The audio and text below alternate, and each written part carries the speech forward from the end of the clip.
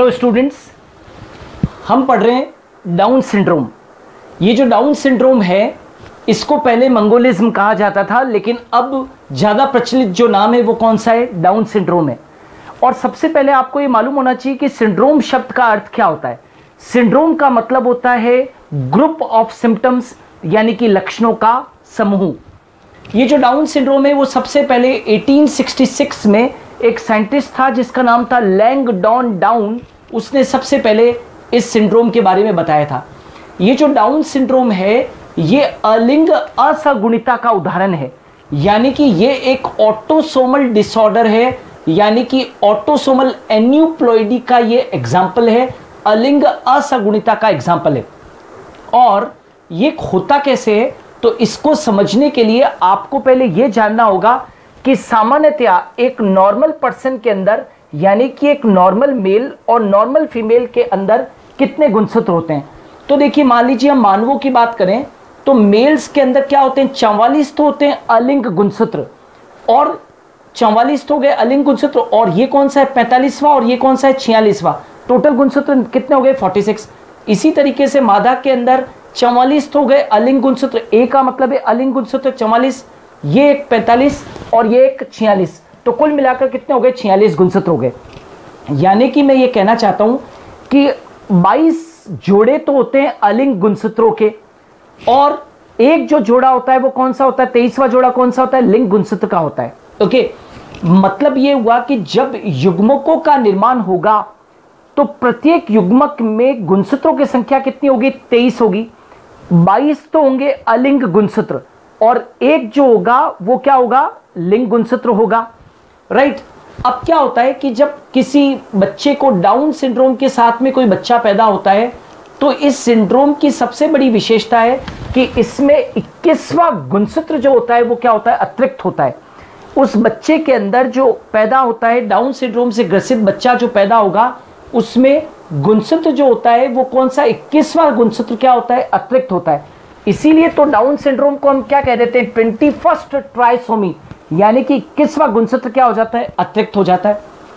क्यों हुआ? अब प्रश्न उठता है कि आखिर ऐसा क्या हो गया कि डाउन सिंड्रोम के अंदर इक्कीसवां गुणसूत्र क्या हो गया? अतिरिक्त हो गया। तो इक्कीसवां गुणसूत्र जो होता है, वो अंड जनन के दौरान, यानी कि ऊजिनेसिस के दौरान पृथक नहीं हो पाता है। नॉर्मली क्या होता है? सामान्य बच्चों के अंदर ऊजिनेसिस के वक्त में क्या होता है? इक्कीसवां गुणसूत्र अलग हो जाता है। लेकिन जब इक्कीसवां गुणसूत्र अंड जनन के दौरान अलग नहीं होता है तो उस कारण से अंडे में तेईस गुणसूत्र के स्थान पर कितने होते हैं? चौबीस गुणसूत्र पाए जाते हैं। नॉर्मली क्या होता है? अंडे के अंदर कितने गुणसूत्र होने चाहिए? तेईस गुणसूत्र होने चाहिए। लेकिन जब कोई बच्चे के अंदर डाउन सिंड्रोम हो जाता है तो उसके अंदर अंडे के अंदर जो है, वो मतलब जिस अंडे से वो निर्मित हुआ है, उस अंडे के अंदर तेईस गुणसूत्रों की जगह पे कितने हो जाते हैं? चौबीस। क्यों हुआ ऐसा क्यों हुआ? एक अतिरिक्त गुणसूत्र कौन सा आ गया? इक्कीसवा गुणसूत्र क्या हो जाता है? अतिरिक्त हो जाता है।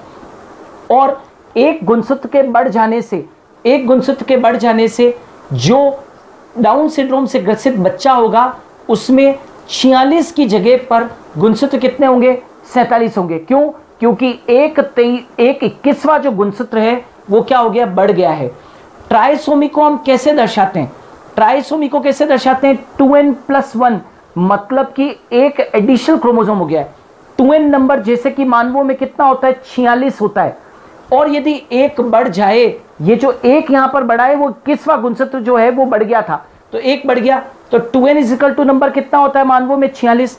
छियालीस प्लस एक बढ़ गया तो कितने हो गए? सैंतालीस हो गए। तो कुल मिलाकर कितने हो गए? संततियों में सैंतालीस गुणसूत्र क्या हो जाएँगे? पाए जाएँगे। और जब सैंतालीस हो जाएँगे तो वो बच्चा ग्रसित हो जाएगा किससे? डाउन सिंड्रोम से। ये जो डाउन सिंड्रोम है, अब जानते हैं कि इस डाउन सिंड्रोम के लक्षण क्या क्या होते हैं? इसके लक्षण क्या है? तो सारे के सारे जितने भी बच्चे होते हैं जो डाउन सिंड्रोम से ग्रसित है, उनका कद जो होता है, वो क्या होता है? छोटा होता है। मतलब लगभग सारे बच्चे जो डाउन सिंड्रोम से ग्रसित होते हैं, ऐसा माना जाता है कि उनका जो कद है, वो लगभग चार फीट के करीब होता है। और इनका जो फेस होता है फेस जो फेस होता है, वो कैसा होता है? राउंड फेस होता है। राउंड फेस होता है, गोल फेस होता है। साथ के साथ उनका जो ललाट होता है, ऊपर का जो फोरेड रीजन होता है, वो फोरेड रीजन जो होता है, वो कैसा होता है? थोड़ा सा चौड़ा होता है। ठीक है? और इन बच्चों के अंदर जो मुँह होता है, वो स्थायी रूप से आंशिक रूप, आंशिक मुख खुला रहता है। मतलब पूरा मुँह तो नहीं खुला रहता है लेकिन आंशिक मुख हमेशा ही क्या रहता है? खुला रहता है। और वो हमेशा स्थायी रूप से आंशिक मुख जो है, मुख हमेशा थोड़ा बहुत क्या रहेगा? खुला हुआ रहेगा। और प्लस इनका मुँह खुला हुआ रहता है तो ऐसे लगता है कि इनकी जो जिवा है, वो बाहर निकली हुई है। प्रोट्रूडिंग टंग, यानी कि बाहर निकलती हुई जिवा जो है, बाहर निकली हुई जिवा प्रतीत होती है। इनकी जो उंगलियाँ होती है, वो अपेक्षाकृत छोटी होती है और अंगुलियों के टिप के ऊपर पिंड पाए जाते हैं। जैसे ये अंगुलियाँ हैं तो अंगुलियों के टिप के ऊपर जो है, वो क्या पाए जाते हैं? लोब्स पाए जाते हैं, पिंड पाए जाते हैं। तो अंगुलियाँ जो होती है, वो अपेक्षाकृत क्या होती है? छोटी होती है। इनमें जो जिवा है, बाहर निकली हुई तो जिवा होती है, लेकिन इनकी जिवा की, डाउन सिंड्रोम से ग्रसित बच्चों की जिवा की एक विशेषता है कि जिवा के अंदर एक खांच बनी हुई रहती है। एक नाली जैसी संरचना बनी हुई रहती है, जो डाउन सिंड्रोम की पहचान है।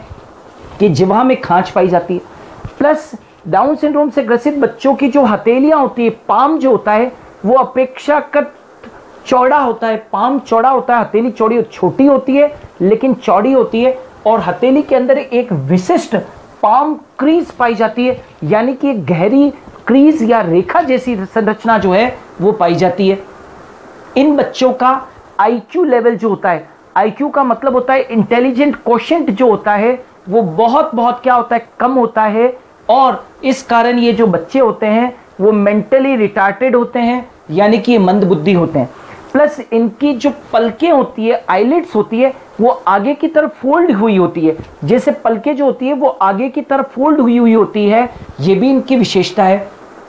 और इनके अंदर जो जनद होते हैं गोनाइट्स होते हैं, वो कम विकसित होते हैं और ये जो बच्चे होते हैं, इस कारण से ये क्या होते हैं? बंदे होते हैं। और चूँकि डाउन सिंड्रोम जो है, वो कैसा है? एक अलिंग गुणसूत्र के कारण होने वाला सिंड्रोम है। तो ये नर और मादा, नर प्लस मादा दोनों में हो सकता है। मतलब ये नर बच्चे भी इस रोग से ग्रसित हो सकते हैं और मादा जो है, वो भी इस रोग से क्या हो सकती है? ग्रसित हो सकती है। तो एक बार इसके सिम्टम्स देख लीजिए। मुख गोल होता है छोटा कद होता है चार फिट का, ललाट चौड़ा होता है, मुख हमेशा आंशिक रूप से खुला रहता है, बाहर निकली हुई जिवा होती है, जिवा में विशिष्ट खांच होती है, उंगलियाँ छोटी होती है, उंगलियाँ छोटी उंगलियों के ऊपर पिंड पाए जाते हैं, हथेली चौड़ी होती है और हथेली के अंदर एक विशिष्ट प्रकार की पाम क्रीज या एक गहरी रेखा होती है। आईक्यू इनका कम होता है, ये बच्चे मंद बुद्धि होते हैं पलके फोल्डेड होती है और जनक जो होते हैं, वो कम विकसित होते हैं और इस कारण से क्या रहते हैं, बंदे होते हैं। ये एक ट्राइसोमी का उदाहरण है। टू एन प्लस वन, छियालीस प्लस एक गुणसूत्र बढ़ जाता है। जो एक गुणसूत्र बढ़ जाता है, वो इक्कीसवा गुणसूत्र होता है। इसीलिए इसको डाउन सिंड्रोम को हम इक्कीसवें गुणसूत्र की ट्राइसोमी भी कहते हैं। इक्कीसवा गुणसूत्र अंड जनन के दौरान पृथक नहीं हो पाता है, इसलिए उसकी संख्या बढ़ जाती है। ओके? और आपको ये मालूम होना चाहिए कि डाउन सिंड्रोम जो है, वो किन बच्चों में ज़्यादा होगा? एक बात याद रखना, जो मादाएँ अधिक उम्र के अंदर, जो मादाएँ पर्टिकुलरली फीमेल्स जो मादाएँ अधिक उम्र में बच्चों को जन्म देती है, उनके अंदर डाउन सिंड्रोम उनके बच्चों में डाउन सिंड्रोम का खतरा ज़्यादा रहता है। एक अनुमान ये कहता है कि फीमेल्स के अंदर 25 साल की यदि फीमेल बच्चे को बर्थ देती है तो 2000 में से एक बच्चा जो है, संभावना है कि डाउन सिंड्रोम से ग्रसित हो जाए। अब जैसे मादा की उम्र बड़ी 30 साल हो गई तो 30 साल में यदि बच्चे को मादा जन्म देती है तो देखिए ये रेशो कितना बढ़ गया है। एक में 900 में से 900 बच्चों में से एक बच्चा जो है, वो ग्रसित हो सकता है किससे? दैट इज़ डाउन सिंड्रोम से। यदि मादा की और उम्र बढ़ती है 40 साल, और मादा 40 साल की उम्र में बच्चों को यदि बर्थ देती है तो 100 में से एक बच्चे के डाउन सिंड्रोम से ग्रसित होने की संभावना हो जाती है। और यदि और ज़्यादा उम्र के अंदर 45 साल की उम्र के अंदर मादा यदि बच्चे को जन्म देती है तो संभावना और अधिक बढ़ जाती है। एक में एक जो है 40 में से एक जो बच्चा है वो क्या हो सकता है? डाउन सिंड्रोम से ग्रसित हो सकता है। तो अधिक उम्र की जो माताएँ होती है मादाएँ होती है जो बच्चों को जन्म देती है उनके अंदर उनके बच्चों में डाउन सिंड्रोम का खतरा ज़्यादा पाया गया। यूके के अंदर यूनाइटेड स्टेट्स के अंदर यूनाइटेड किंगडम्स के अंदर आ, हर साल वहाँ पर 6000 बच्चे लगभग जो हैं वो डाउन सिंड्रोम से ग्रसित होकर और क्या होते हैं? पैदा होते हैं। इस विकार को दूर नहीं किया जा सकता है। ये जन्मजात विकार है। ओके सो स्टूडेंट्स ये था डाउन सिंड्रोम के ऊपर वीडियो हम और भी नए वीडियोस के साथ में मिलेंगे। कुछ और सिंड्रोम्स कुछ जेनेटिक्स के नए टॉपिक्स के साथ में मिलेंगे। कीप वॉचिंग देखते रहिए। जय हिंद। Thanks a lot